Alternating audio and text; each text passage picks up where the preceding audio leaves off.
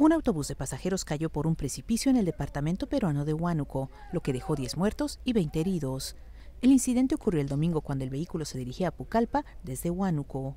Algunos testigos dijeron que la lluvia afectaba la visibilidad del camino. El autobús cayó a un abismo de unos 200 metros de profundidad. Según la policía y la fiscalía, la imprudencia de los choferes y el exceso de velocidad son las principales causas de los siniestros viales en Perú. La vigilancia estatal del transporte por carretera en Perú no es adecuada, lo que contribuye a un alto índice de accidentes en los que mueren principalmente gente pobre, que tienen los autobuses como único medio de transporte.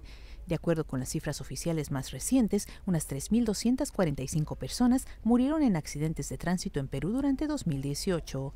Hace menos de dos semanas, al menos 15 personas murieron y otras 20 resultaron heridas cuando un autobús de transporte interprovincial cayó a un abismo en una carretera del norte del país.